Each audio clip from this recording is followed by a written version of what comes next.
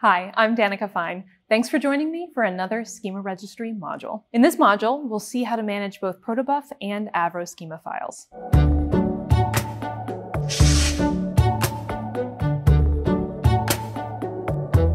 Schema management starts with registering schemas, but further in the lifecycle, it also includes updating schemas and viewing or downloading them. Later in this course, we'll also cover evolving and testing a schema. For now, let's see how to register a schema. Suppose we've already created some schema and we want to register it. Before we get into the ways that we can register a schema, let's first talk about what happens during registration. When you register a schema, you provide the subject name in addition to the schema itself. The subject name is what we'll use to identify the schema, and it's usually just the namespace for the schema almost like a key when you use a hash map. The standard naming convention is the topic name followed by key or the topic name followed by value, depending on whether you're defining a schema to be used for a key or a value. It doesn't just end there though. There are some other strategies for subject names that we'll cover in a later session. Once Schema Registry receives the schema, it assigns it a unique ID number and a version. Unsurprisingly, the first time you register a schema for a given subject name, it's assigned a version of 1. After this happens, we're done. The schema has been registered.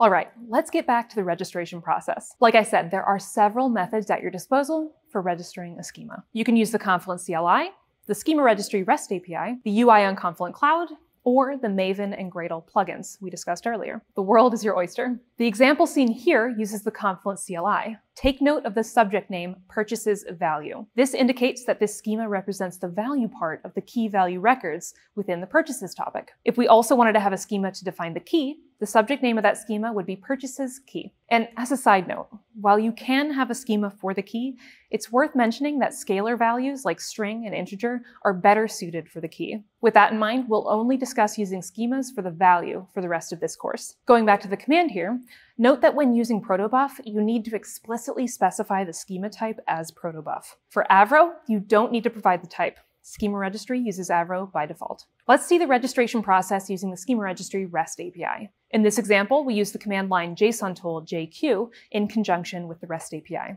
Since Avro schemas are defined in JSON, you can use them as is in the command. Protobuf schema definitions are not defined in JSON, so you need to first get them into JSON format before you can register them using the REST API. In this example, we use a helper script to parse and format the schema into JSON. The curl command then uses this JSON formatted output from the script. The Gradle and Maven plugins we discussed earlier are also capable of registering a schema. This example illustrates registering two schemas using the Gradle Schema Registry plugin. In the Gradle build script, you need to provide a subject entry in the register block, which includes the path to the schema file and the schema type. This block can include one or multiple subject entries, and each entry can be either the Avro, Protobuf, or JSON SR schema type. Simple. Using a plugin with your development environment could potentially be the easiest approach to registering schemas. Just the one register schemas task command will register all of the entries in the register block. And finally, when you're using a Kafka producer, you can also enable it to auto-register a schema. Although, while this is very handy for development, it's not something I'd recommend doing in production. All right, so we've created and registered schemas. What do we do when we need to update a schema? Well, you can actually use any of these register methods to update the schema as well. Provided you're making compatible changes, which we'll cover in an upcoming module, Schema Registry will simply assign a new ID to the schema and increment the version number. While the new ID is not guaranteed to be in sequential order, the version number will always be incremented by one. And as you'll see in a second, the version number is actually more important than the ID when viewing the schema.